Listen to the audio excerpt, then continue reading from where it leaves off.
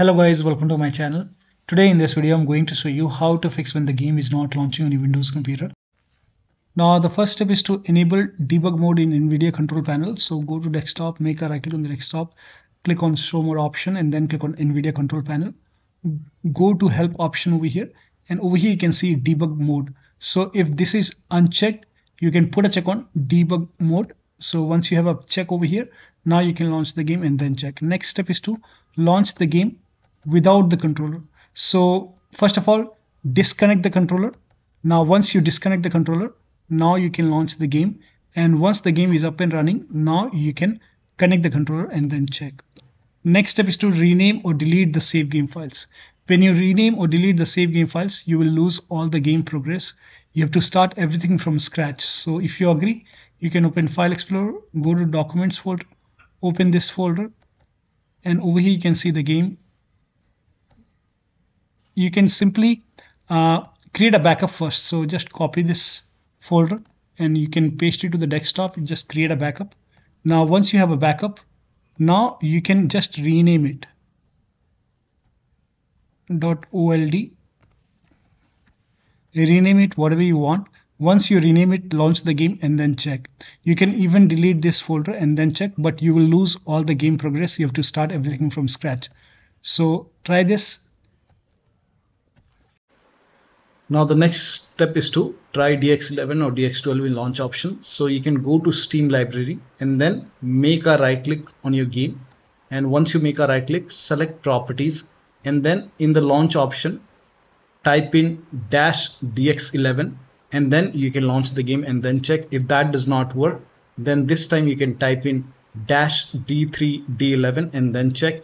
Still not working. This time you can type in dash dx12 and then launch the game and then check now the first step is to simply restart your computer just restart your computer once. Do not ignore this step. Just restart your computer once and then check.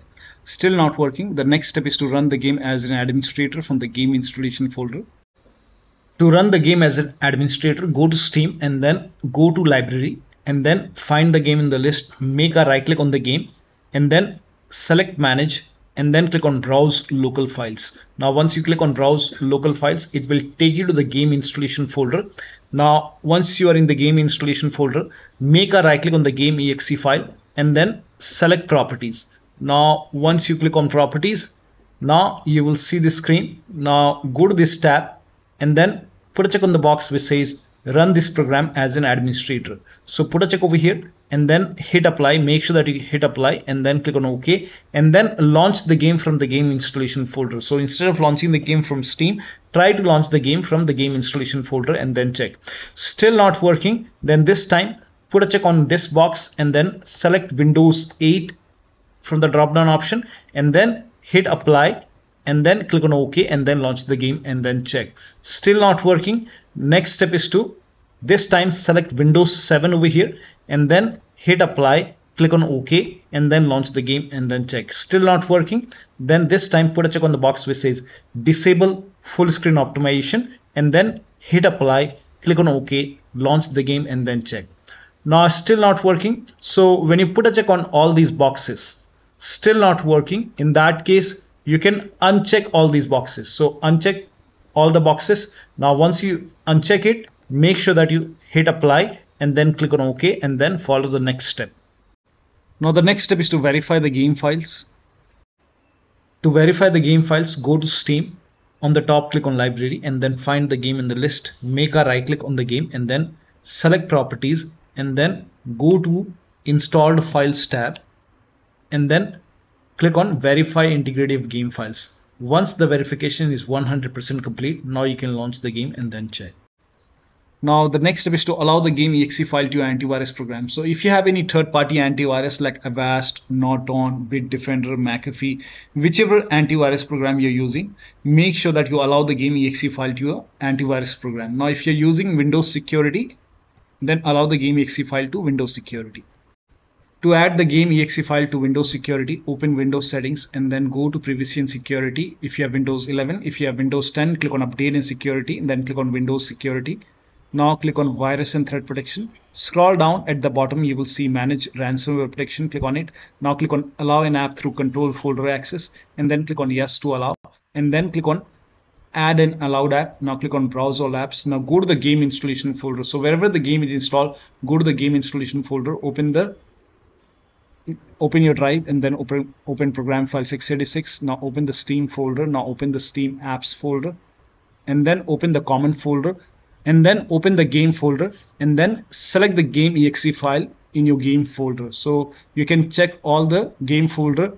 Uh, there might be one or two exe file. You have to add the exe file game exe file and then click on open. And once the game is added over here now you can launch the game and then check. You can do the same thing in firewall. So type in control panel in windows search box and then go to system and security windows defender firewall. Click on allow an app or feature through Windows Defender Firewall. Click on change settings on the top. Click on allow another app. Again, click on browse and then go to the game installation folder wherever the game is installed. Open the game folder, select the game exe file and then click on open. Once the game is added over here, click on add. And once the game is added to the firewall, now you can click on OK and then you can launch the game and then check.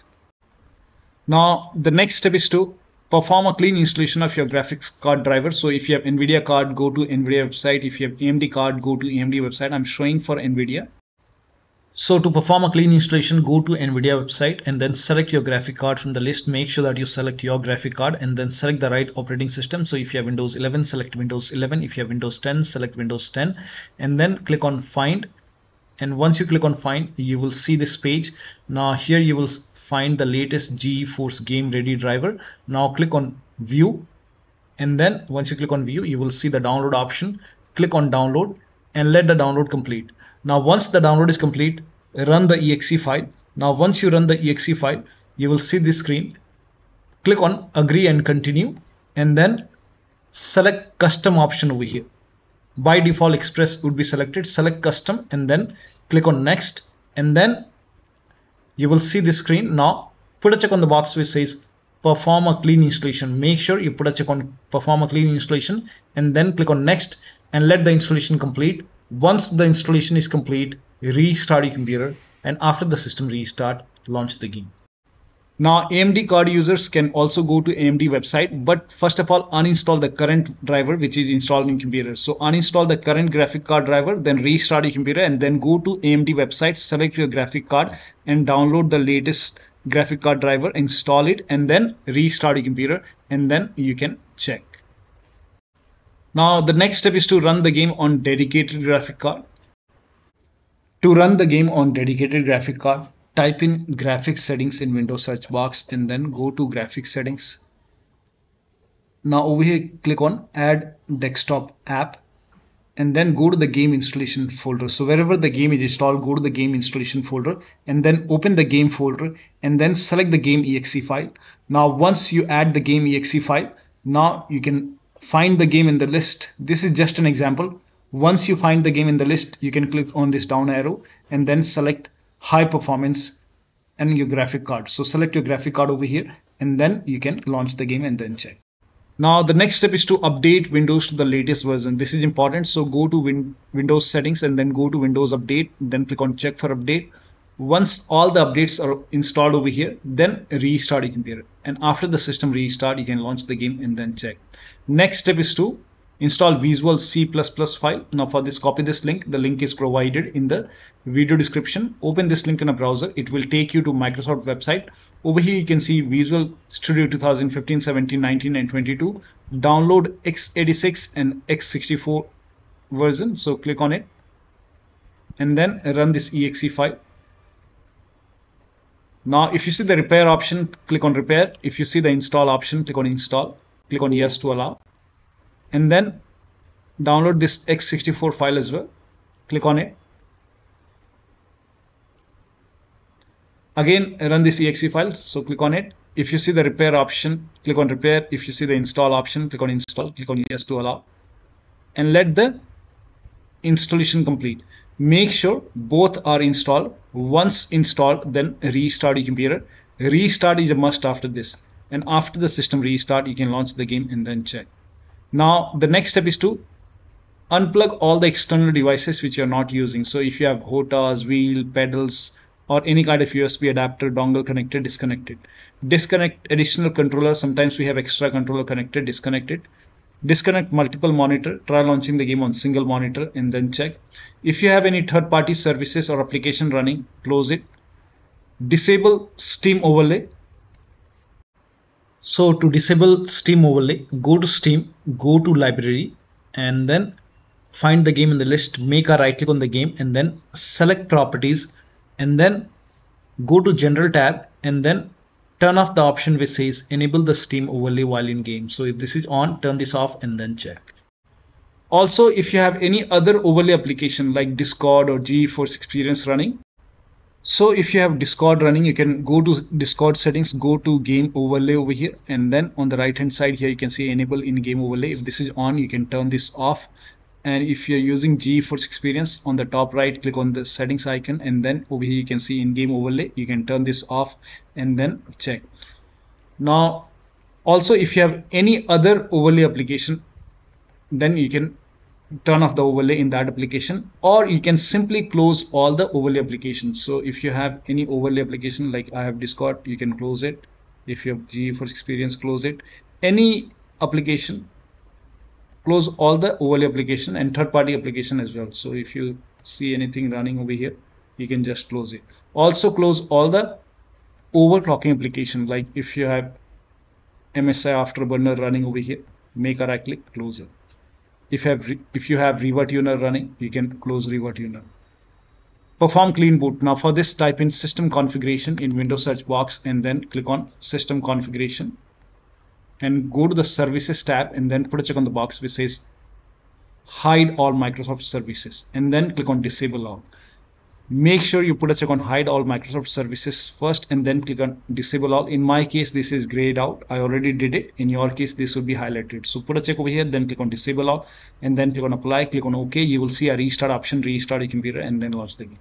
Also, if you have undervolted your computer, remove the undervolt and then launch the game. Next step is to increase the virtual memory. So to increase the virtual memory, type in view advanced system settings in Windows search box and then click on view advanced system settings and then click on the first settings and then go to advanced tab and then click on change over here and then select the drive. So uncheck the box which says automatically manage paging file size for all drives. Uncheck this box and select the drive where the game is installed. So select the drive and then once you select the right drive now put a check on custom size and for initial size it's 1.5 into total RAM. So you can check the total RAM in Windows settings. You can go to system and then go to about. And total RAM in my case is 16 gigabyte. So you can calculate accordingly. In my case it's 16 GB so I will calculate as per 16 GB so and first of all we have to convert 16 GB into megabyte. So we will open calculator. So type in calculator in run box and then click on ok. And over here uh, it's 16 1.5 into total RAM. Total RAM in my case it's 16 RAM 16 GB so 1 16 into 1024 1024 is actually 1 GB is equal to 1024 megabyte. So 16 GB in megabyte will be 16384 into 1.5 1.5 into total RAM. This is my total RAM in megabyte. Now 1.5 into total RAM total RAM that is into 1.5 so in my case initial size is 24576 24576 and maximum size is 3 into total RAM. Now total RAM in my case that is 16 gigabyte. I have 16 gigabyte of RAM.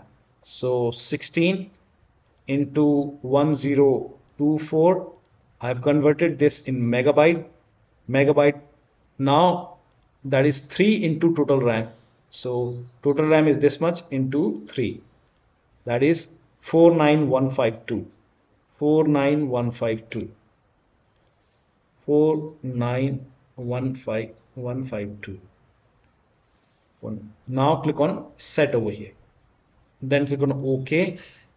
Ok apply. Ok ok. Now restart computer. Make sure that you restart your computer after this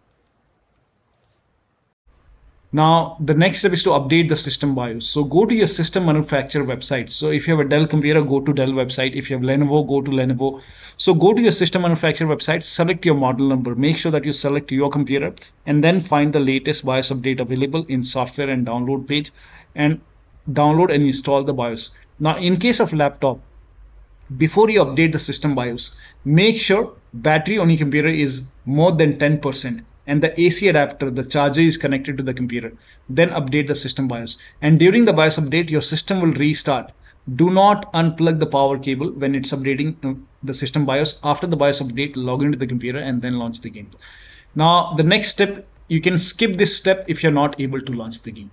If you're able to launch the game, in that case, you can switch to window mode and lower down video settings like if the graphics preset is set to ultra or high you can set it to medium or low quality. You can even try to turn off the vsync turn on turn off or turn on the vsync and then check. So try to make changes in the graphic settings. So try to lower it down and then launch the game and then check. Now the last step is to uninstall and reinstall the game.